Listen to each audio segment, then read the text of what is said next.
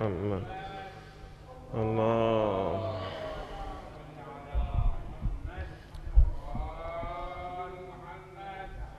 لا حول ولا قوة إلا بالله العلي العظيم. إنا لله وإنا إليه راجعون.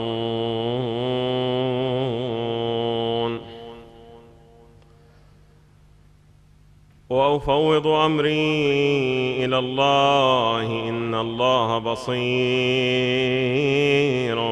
بالعباد.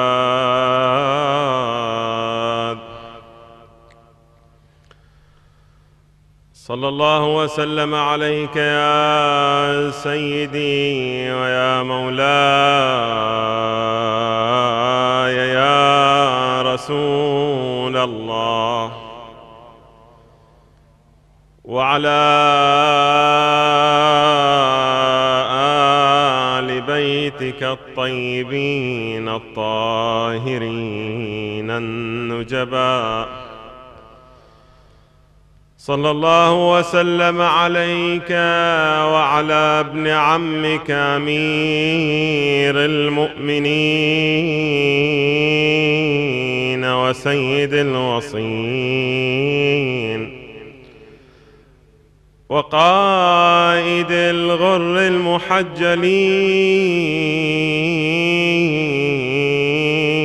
ما خاب من تمسك بكم. وفاز متبعكم. وأمنا من لجا والتجا إليكم سادتي.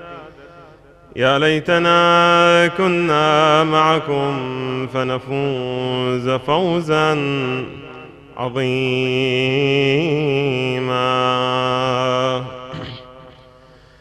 لبس الإسلام أبراد السواد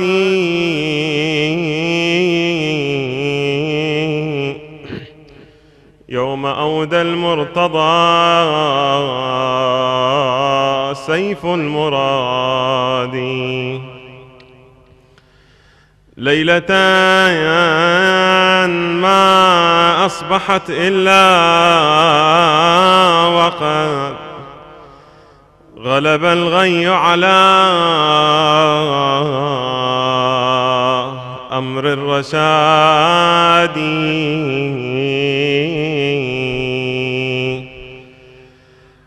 وصلاح خفضت أعلامه وغدا ترفع أعلام الفساد.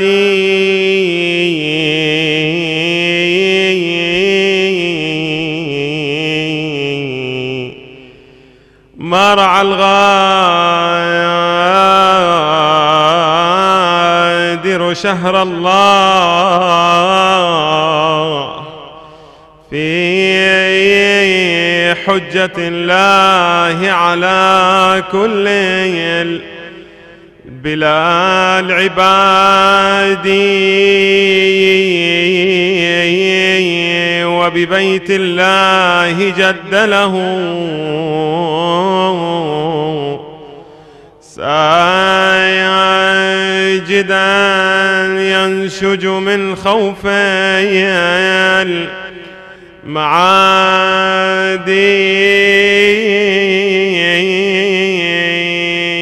يا ليال أنزل الله بها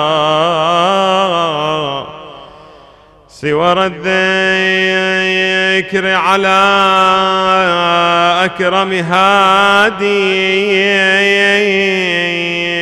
محيت فيك رغم العلا.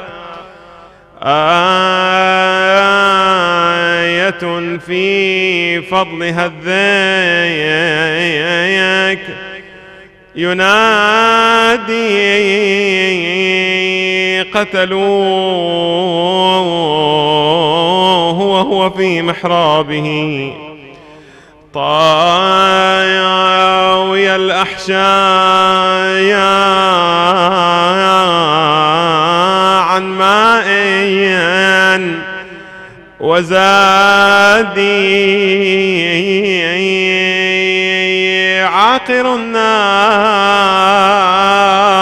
الناقة مع شقوتي. ليس بالأدس ليس بالأشقى من الريج المرادي فلقد عمم بالسيف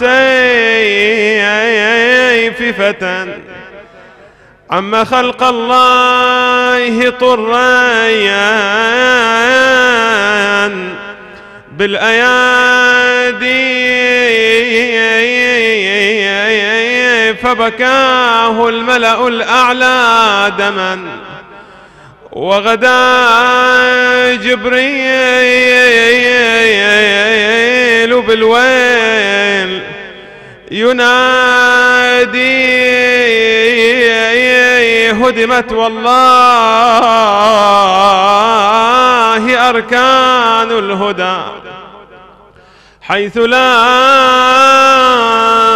من منذر فينا ولا من هادي لكن اصفرت الوانه وسال دمعه وظل ينادي. لا تهيجوني بالبواكي يا أولادي. سكتوا ترى نزف الدماء ذوب فادي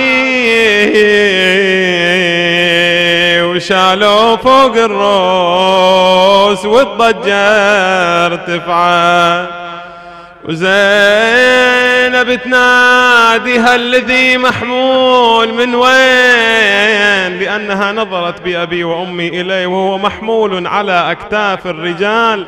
ما صدقت ما رأته عيناها. أهذا هو علي خواض الغمرات. هذا الذي هو تهابه ليوث الوغى في الحراب وإذا به محمول بتلك الهيئة والدماء تسيل من عليه. وزينب تنادي هل ذي محمول من وين؟ بل أخبروني بالعجل يا هاشمين. قالوا لها يا مخدرة هذا أبو حسين. صرخت وصفقت بيدها وبالحال خرت. وظلت تنادي والدمية بالخد همان طلعت سالم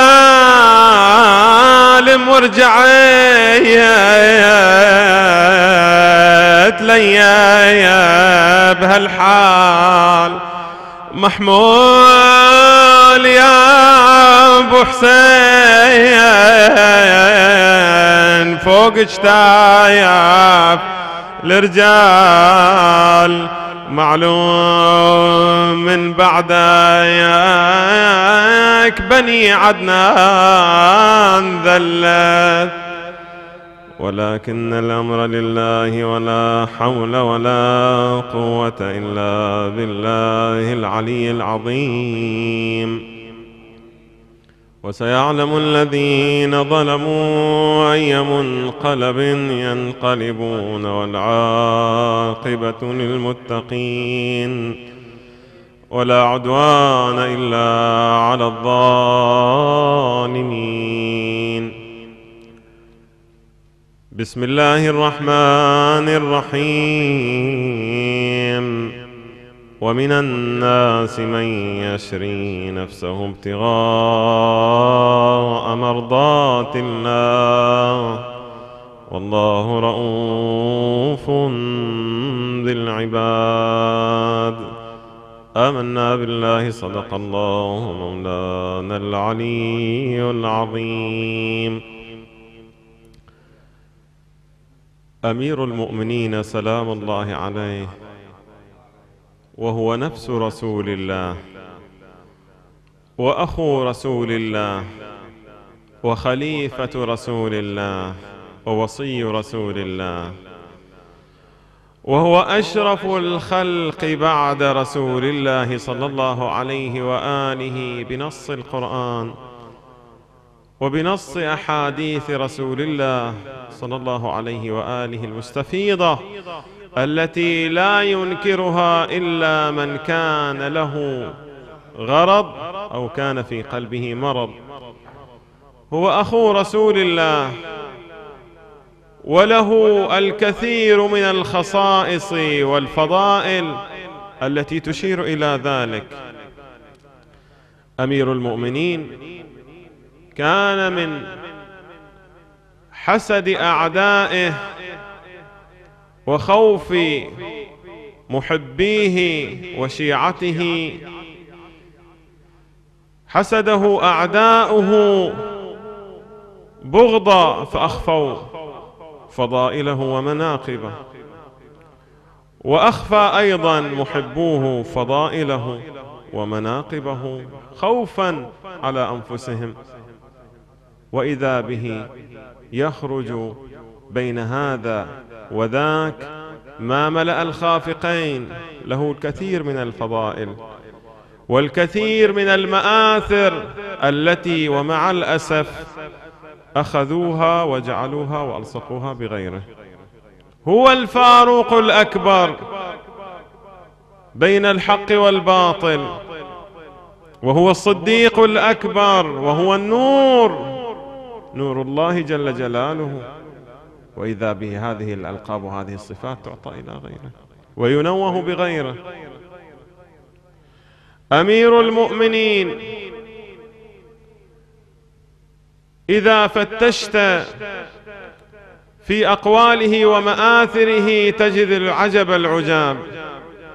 ولذلك عندما تمر بمقولة ويكتب حول هذه المقولة أو هذه العبارة قال أحد الحكماء أو قال أحد الفلاسفة توقف قليلا وأمعن النظر وفتش فلربما تكون هنالك أياد أثيمة نسبت هذا القول لأمير المؤمنين إلى بعض الحكماء أو بعض الفلاسفة الذين لا يعرفون من يكونون كثير من أقوال أمير المؤمنين هكذا تعامل معها المغرضون. ولذلك أمير المؤمنين إحنا نتحسف ويصيبنا الألم لما نجد من أن الأمة تنبذ وراءها أمير المؤمنين. تأخذ أقواله وتنسبها إلى غيره. أمير المؤمنين أيضا تحسف عندما قتل مالك الأشتر. مالك الأشتر عندما بعثه إلى مصر وعهد إليه بذلك العهد المعروف بعهد أمير المؤمنين لمالك الأشتر. تضايق أمير المؤمنين أن لا يقع ذلك العهد في يد أعداء أمير المؤمنين فيأخذوه وينسبوه إلى معاوية لأن هذا عهد أمير المؤمنين لمالك الأشتر. هو دستور دستور دولة. وهكذا يأتون ببعض الأقوال الركيكة ويضعونها إلى جانب أقوال أمير المؤمنين. مثلا يقول أحد المؤمنين عندما كنا في منى رزقنا الله وإياكم حج بيته الحرام في هذا العام وفي كل عام إن شاء الله. في منى التقيت بعض المخالفين وجلست إلى جانبه أتحدث معه عن الشأن العام للأمة الإسلامية وما يعتريها من الظلم والجور. فقلت مقولة أمير المؤمنين لا تكن عبدا لغيرك وقد خلقك الله حرا. وإذا بذلك المخالف يقول أيضا قال قال فلان من الناس الخليفة الفلاني. متى استعبدتم الناس وقد خلقتهم أو ولدتهم أمهاتهم أحرارا. أين هذا الكلام من ذلك الكلام؟ هذا كلام أمير المؤمنين كلام المعصوم كلام الذي تتفجر الحكمة من جوانبه كما قال عنه ضرار بن أبي ضمرة عندما دخل على معاوية. كلام الحق وبينما هذا كلام باطل. عندما ولي الولاة المفسدون وعاثوا فسادا وظلموا الناس جاء له وقال له ذلك الوالي على مصر متى استعبدتم الناس؟ وقد ولدتهم أمهاتهم. أحرار يعني بعدما وقع الفأس في الرأس. أين هذا؟ أين الثرى من الثريا؟ لا يوجد أي مقايسة بين هذا القول وذلك القول. وقس على ذلك. كثير من الأمور ينسبون يأتون بها ويضعونها إلى جانب فضائل أمير المؤمنين ويريدون لها أن تضاهي ما عند أمير المؤمنين من الفضل. ومنها هذه الآية الآية التي صدرنا بها الحديث بداية المجلس. ومن الناس من يشري نفسه ابتغاء مرضات الله. والله رؤوف بالعباد. تدري هذه الآية نسبوها إلى من؟ يعني لا أقول أن الذي قال أنه المصداق لهذه الآية هو عبد الرحمن بن ملجم. ذلك الذي قال هذا القول. ويقول بأن هو مصداق كبير لهذه الآية لذلك ينسب له, ينسب له هذه الأبيات التي يقول فيها يا ضربة من تقي ما أراد بها إلا ليبلغ من ذي العرش رضوانا إني لأذكره فأحسبه أوفى البرية عند الله ميزانا. لا هذا لكن بعضهم قال بأنها نزلت في صهيب صهيب الرومي. هو الغرض ليس ذلك ولا هذا هو الغرض أن تصرف الآية عن أمير المؤمنين. كثير من الآيات والأحاديث جاءوا للحديث قالوا بأن هذا الحديث سنده ضعيف أو أنه شككوا في الحديث. لكن إذا رأوا أن الحديث لا مجال للتشكيك في سنده وفي إثباته يأتون إلى المعنى الذي جاء من أجله الحديث ويصرفونه إلى معنى آخر. ويقولون بأن قول رسول الله صلى الله قول رسول الله صلى الله عليه وآله من كنت مولاه فعلي مولاه يعني الصاحب المحب كلها معاني بعيدة لكن المعنى القريب الذي أراده رسول الله صلى الله عليه وآله لا يصرفونه. هي محاولات بائسة. أيضا هذه الآية قالوا نزلت في صهيب الرومي. قال بعضهم متى نزلت في صهيب الرومي؟ قال عندما هاجر إلى المدينة. بدأت الهجرة الثانية إلى المدينة المنورة. هو هاجر خرج من مكة بأمواله. ولما صار في منتصف الطريق لحقته قريش. وأمسكت به وأوثقت. فعرض عليهم لو أخذتم أموالي وتركتموني وشأني فاستحسنوا هذا العرض وأخذوا أمواله وتركوه ومضى إلى المدينة ولما وصل إلى رسول الله أخبره بما جرى عليه فأخبره رسول الله بأنه نزل فيك القرآن يقول ومن الناس من يشري نفسه ابتغاء مرضات الله. زين. يقول العلامة الطباطبائي هنالك فرق بين من يشري ومن يشتري. الآن صهيب اشترى نفسه أم شرى نفسه؟ هو اشترى نفسه. اشترى نفسه. والدليل على ذلك في قوله تعالى وشروه بثمن بخس. يعني شروه يعني ابتاعوه. إذا لا يصح ذلك. لأن ذلك السلوك كان اشتراء وليس لم يشر نفسه وأنما اشتراها. والحق أنها نزلت في أمير المؤمنين. واستفاضت الكلمة واتفقت على أنها نزلت في أمير المؤمنين. شاء من شاء وأبى من أبى. وتعال شوف ظروف نزول هذه الآية وكيف أن الله سبحانه وتعالى أشاد بأمير المؤمنين متى عندما بات في فراش رسول الله صلى الله عليه وآله. نكلت قريش بالمسلمين وضايقتهم واستشهد من استشهد تحت وطأة التعذيب كسمية وياسر أبو عمار. ولما مات أبو طالب وكان أبو طالب يشكل منعة كبيرة للمسلمين.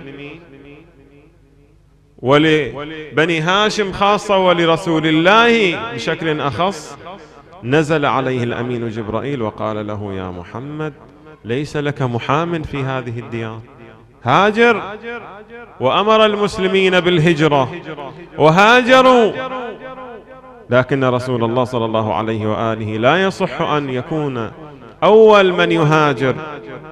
صحيح أن الأمر بالهجرة قد نزل لكن رسول الله صلى الله عليه وآله كان ينتظر إذنا خاصا إلى أن أذن له بالهجرة بعد أن تضاءل عدد المسلمين وأحست قريش بذلك. لما أحست قريش اجتمعوا في دار يقال لها بدار الندوة. وهذه الدار التي لا يجتمعون فيها إلا لأجل مصيبة. ماذا تفعلون مع محمد؟ قال أحدهم نقتله ونريح أنفسنا منه. قال آخر لا نبعده عن مكة وانتهى الأمر. قال ثالث لا نبقيه, عند نبقيه عندنا محبوسا إلى أن يموت. تقول رواية بينما هم كذلك يتشاورون في دار الندوة وإذا بشيخ نجدي جالس بينهم في تلك الدار وقال لهم لا هذا ولا ذاك إنما اجمعوا سيفا من كل قبيلة من قريش وليهجم هؤلاء من جمعتموهم عليه وليضربوه ضربة واحدة ليتفرق دمه بين قبائل قريش حتى لا تدرك هاشم ثارة. استحسنوا رأيه. تقول رواية أن الذي أشار عليهم هو إبليس. لكن التحقيق من علمائنا يقول أن إبليس بريء من هؤلاء النفر دار يجتمع فيها أبو سفيان ومعاوية وأبو جهل وأبو لهب وعمرو بن العاص والمغيرة وشيبة وعتبة والوليد يحتاجون بعد إبليس يقعدوا وياهم يفهمهم ما يحتاجون بعد إبليس. يقول التحقيق من بعض العلماء أن إبليس لم يكن معهم. بل هو كان المغيرة الذي أشار عليهم بذلك الرأي. وترى لا تستبعد غير مستبعد لأن المغيرة صدرت منه أمور ميزته عن غيره بأنه كان السباق إليها. من هذه الأمور هو أول من أشار إلى قريش بقتل رسول الله. هذه واحدة. في دار الندوة. وهو أول من أشار على المهاجرين والأنصار بأن يجتمعوا في السقيفة يوم وفاة رسول الله. اجتمعوا في سقيفة بني ساعدة لتقرروا. وهو أول من نادى الخليفة الثاني بإمرة المسلمين بإمرة المؤمنين. هذا لقب لأمير المؤمنين. حتى الأئمة سلام الله عليهم لا يدعون هذا اللقب وإذا به أول من ينادي ذلك الرجل ويقول له يا أمير المؤمنين. وهو أول من أشار إلى معاوية بأن يستخلف يزيد من بعده. هذا المغيرة. وهو أول من صعد المنبر وأخذ يسب أمير المؤمنين. فهذه كلها سوابق له. كلها أمور سبق بها غيره. فالمغيرة أشار عليهم بهذا الرأي. اضربوه ضربة واحدة ليتفرق دمه بين قبائل قريش وانتهى الأمر. رسول الله صلى الله عليه وآله نزل له الإذن بالهجرة في تلك الليلة. واجتمعت الأسياف واجتمع الرجال حول الدار. وإذا به ينادي عليا يا علي. أمرت أن أهاجر في هذه الليلة وأن الخطر محدق خارج الدار وأنهم مجتمعون لقتلي أو تنام في فراشي. أطرق أمير المؤمنين برأسه وقال أو تسلم يا رسول الله؟ أو تسلم قال نعم. أسلم. قال فداك روحي. وسجد شكرا لله وكان أول سجود شكر لله. وسجد شكرا لله بأن الله اختاره فداء لرسول الله صلى الله عليه وآله. وبالفعل اشتمل برداء رسول الله ونام في فراش رسول الله فداء لرسول الله. وخرج رسول الله وقبض قبضة من التراب ورماها في وجوه القوم وقال شاهت الوجوه. ومر من أمامهم وأراد رسول الله صلى الله عليه وآله أن يؤكد لهم أنه مر من أمامهم أخذ التراب وجعل يضعه فوق رؤوسهم حتى لا يقول قائل منهم بأنه تسور من الجدار الخلفي أو خرج من الخلف أو أنه خرج بطريقة ملتوية. لا خرج من أمامكم يمرغكم. وهاجر رسول الله صلى الله عليه وآله. تقول الرواية بأنه في الطريق التقى بالأول. وقال له أصحبك يا رسول الله صلى الله عليه وآله. فوافق رسول الله بأن يصحبه وجاء معه إلى أن وصل إلى الغار. وصل إلى الغار ودخل معه رسول الله الغار لما أحست وعلمت قريش بأن رسول الله قد هاجر وإذا به يخاف ويرتعد. ورسول الله صلى الله عليه وآله يقول له لا تحزن بنص القرآن لا تحزن إن الله معنا لكن الخوف كان يعتري. هذا يساوى بمن اشتمل برداء رسول الله. ونام في فراشه والخطر محدق برسول الله. والخطر محدق بتلك الدار. وقد علم أن الخطر محدق وما سأل عن نفسه يعني يا أمير المؤمنين؟ أنت سألت عن سلامة رسول الله أهو يسلم أم لا يسلم؟ زين اسأل عن نفسك. أتسلم أم لا تسلم؟ لا لا يهمني ذلك. سلامة رسول الله هي الأهم. ما سأل أمير المؤمنين ما سأل عن سلامته؟ ولا عن وضعه ماذا سيؤول إليه. وبات في فراش رسول الله. لا يساوى هذا بذاك. لذلك نزلت الآية ومن الناس من يشري نفسه ابتغاء مرضات الله. والله رؤوف بالعباد. فدى نفسه فداء لرسول الله وفداء للإسلام وفداء لدين الله وصبر على الأذى. وتحمل وكان نعم العون لرسول الله. لذلك هو وصي رسول الله وهو خليفة رسول الله بحق. جاهد على التنزيل وجاهد وقاتل وقاتل على التأويل. ومن هوان الدنيا على الله. أن يبعد أمير المؤمنين الذي كان إلى جانب رسول الله من اليوم الأول في الإسلام. وهو السابق للإسلام وإذا به يبعد وإذا به يحارب وإذا به يشتم ويسب ويلعن على المنابر. وهذا الزيف الأموي علي لا يصلي علي لا يصلي. ولذلك عندما وصل الخبر خبر هذه الضربة في هذا اليوم عندما وصل خبر ضربة أمير المؤمنين إلى أهل الشام بأن عليا ضرب في محراب أو علي يصلي. وعلي يصلي لكنه من هوان الدنيا على الله أن أمير المؤمنين البطل المغوار الذي تهابه ليوث الوغى وإذا به في مثل هذا اليوم مسجن على فراشه لا يستطيع النهوض. يغمى عليه تارة ويفيق تارة أخرى وأهل بيته مجتمعون حوله. هذا يلطم على وجهه وذلك يضرب على رأسه. تحيرون بأبي وأمي ماذا يصنعون؟ يقول الأصبغ بن نبات عندما أمرنا أبو محمد بالانصراف وانصرف الجميع بقيت مكاني سمرت قدماي. عند باب الدار وأخذت أبكي حتى ارتفع صوتي. فخرج إلي أبو محمد يا أصبغ الم أمركم بالانصراف.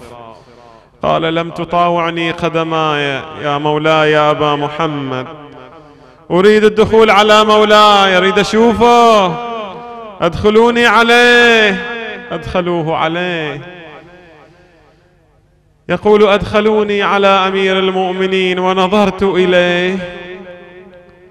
معصب بعصابة صفراء. لا أدري أيهما أشد صفرة العصابة أم وجهه الشريف. وهو مغمى عليه فبكيت حتى أفاق. ونظر إلي وقال يا أصبغ إنها والله الجنة. قلت يا أمير المؤمنين إني أعلم أنك صائر إلى الجنة. لكنني أبكي على فراقك هذا الأصبغ ابن نبات. يبكي على أمير المؤمنين لما نظر إليه بذلك الحال. ساعد الله قلب أولاده. ساعد الله قلب العقيل زينب لما نظرت إليه. وساعد الله قلبها. عندما تصدع قلبها متى؟ عندما سمعت بكلام الطبيب. جاءوا له بطبيب في مثل هذا اليوم. جاء له أبو محمد بطبيب يقال له أثير بن عمرو. فأمر بأن تذبح شاة. هذا طبيب حاذق.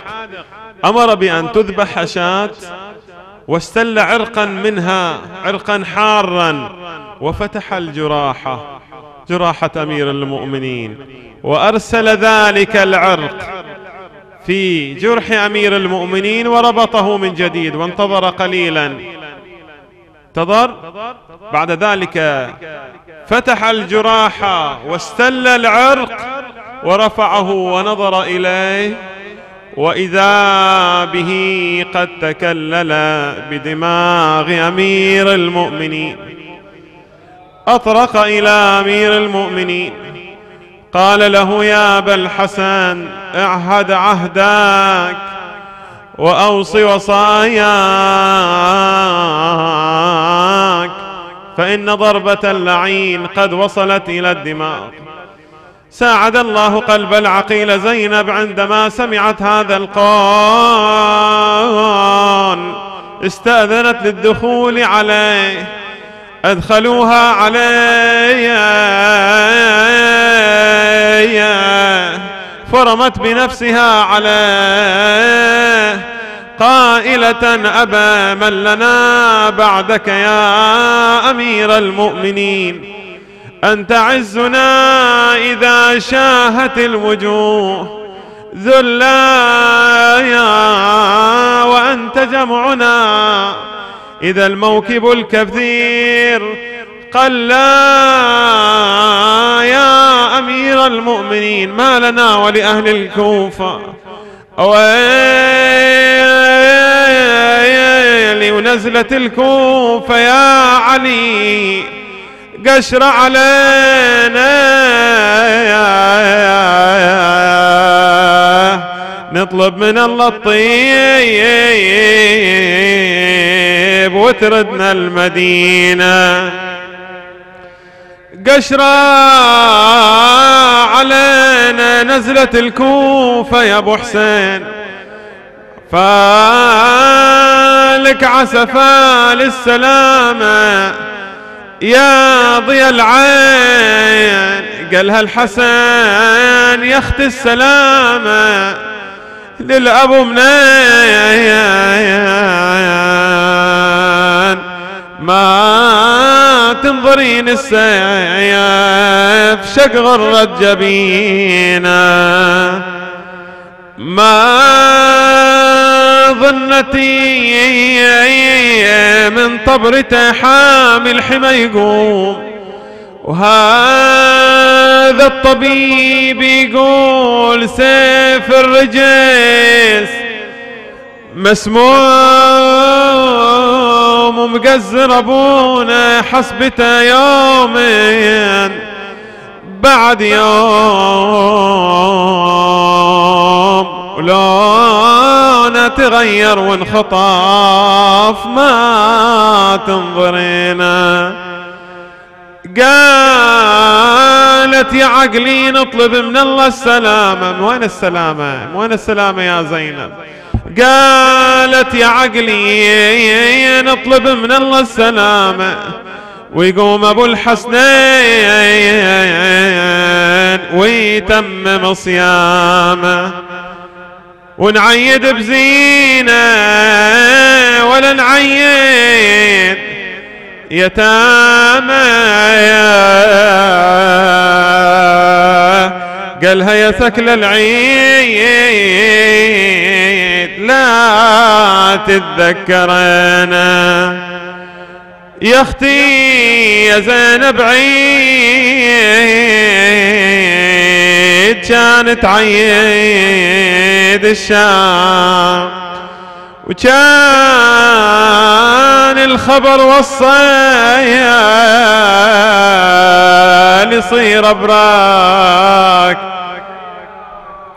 وإحنا بعد ليلة ويوم ونصير أيتام. وعند الفجر كهف الأرايا تفقدين صحيت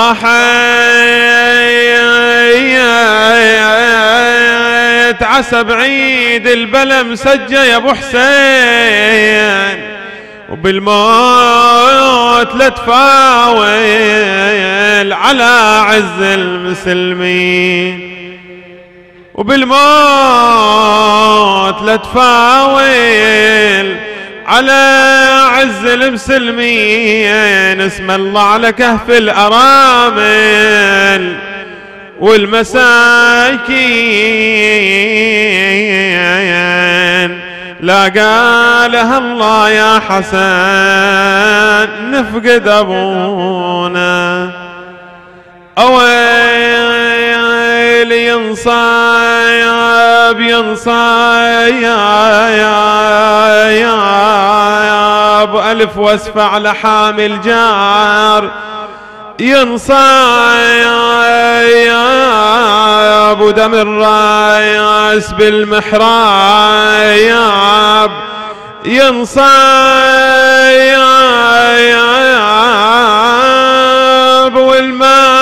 والماتم إله بالعيد. ينصايب والانس والجان نصبت لعزية.